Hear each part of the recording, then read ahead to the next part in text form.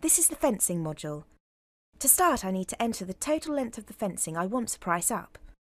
This is 11 linear metres, so I enter 11 here in the red cell at the top of the sheet. I now need to tell the programme the height of the fencing.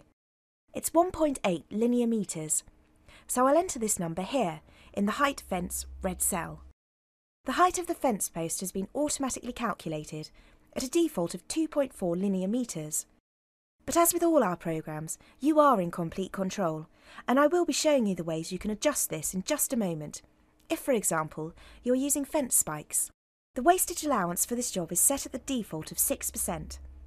I will be leaving this as it is, but you can change it if you believe it needs to be set higher or lower.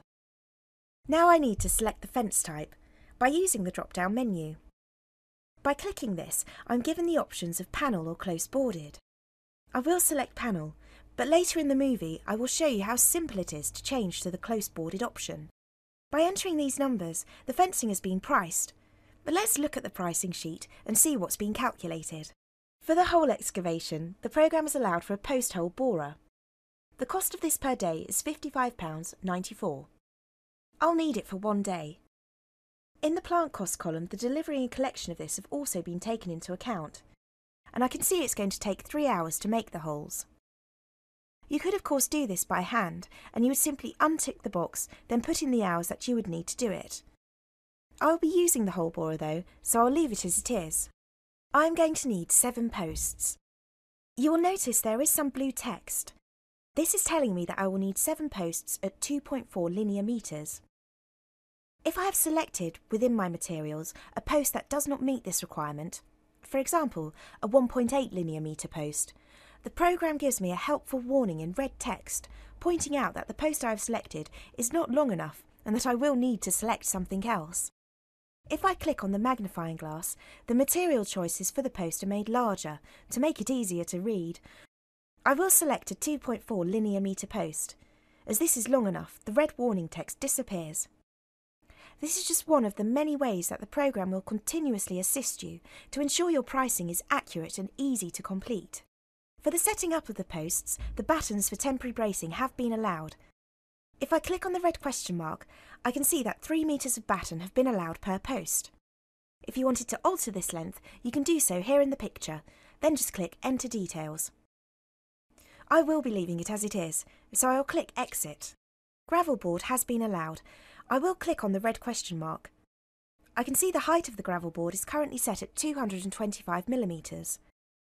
I will leave this as it is, but if you wanted to change it, you can do so here in the picture. Then click Enter Details.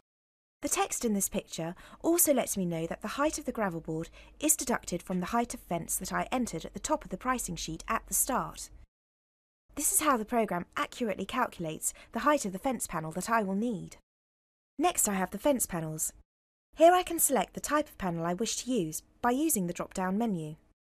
I'm happy with the selection, so I'll leave it as it is. I can see that I'll need six panels to do my fencing. The fence clips have been calculated. If I click on the red question mark, I can see that six clips have been allowed per panel, along with four nails per clip. I will be leaving it as it is. If you want to change this, you can do it here in the picture and enter the details. Continuing down the pricing sheet, I can see that cant rail and feather edge will not be required. These are options that would be needed if I had selected close boarded fencing. Further down the sheet, the same applies to the fixings for cant rail and fixings for feather edge. But I will be showing you the close boarded option very shortly. As you can see, post spikes is not currently selected. I will be using these, so I'll tick the box. You will notice quite a few things have automatically changed by selecting this. The sand, cement and mixer are no longer required, and the height of the fence post has also been reduced to 1.8 linear metres. So I can now reduce the length of the material I had selected for my post to 1.8 linear metres. The waste disposal method for the soils is currently a one yard bag, and I'd need to use one of these. But I'm going to be using small rubble sacks. If I click on the red question mark, I get a helpful picture. I will click on the 0.18 yard rubble sack and I now know I'm going to need six of these to dispose of the soils. The fixings for the panel clips, gravel board and the fence panels have all been calculated. The totals for the plant, materials, hours, labour, and the overall total are here along the bottom.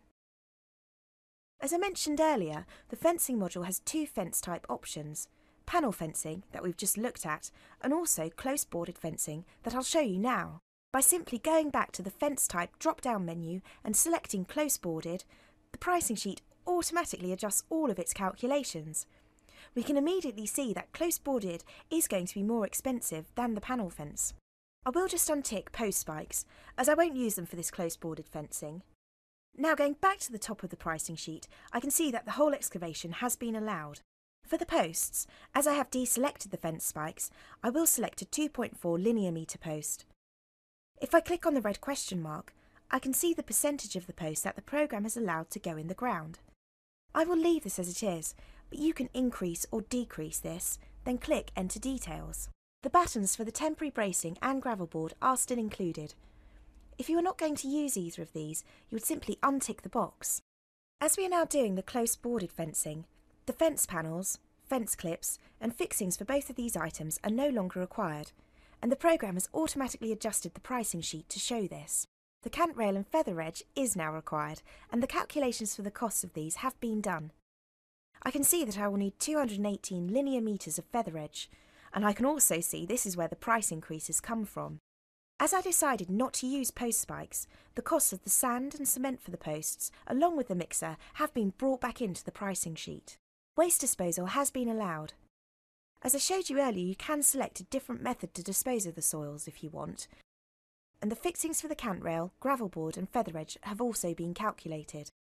Along the bottom we have the totals for the close boarded options, these being plant, materials, hours, labour and the total cost.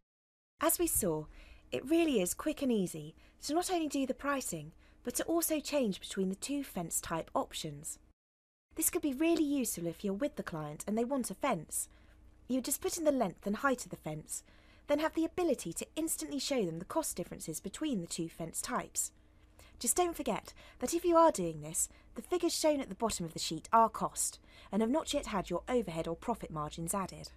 After watching this movie, I'm sure you will agree that pricing up fencing with this module just couldn't be more simple, fast, or accurate.